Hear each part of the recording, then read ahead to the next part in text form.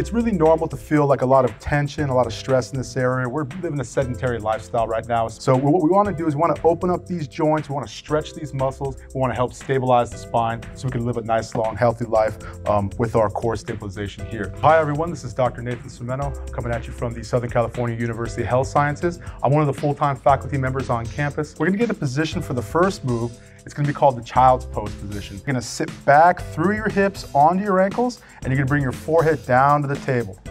Okay, walk your hands forward, feel that nice stretch here in the low back. Now we can hold this position for about 15 to 30 seconds just to kind of open up those tissues and feel that stretch. Or we can kind of move back and forth to really mobilize those joints and stretch those muscles. So let's come back up. Let's do a couple reps. Just come up to the top. Good, and then slide back down. For this particular stretch itself, that child's pose position, we can alternate hands here. So we're gonna bring this hand, cross over to the other side.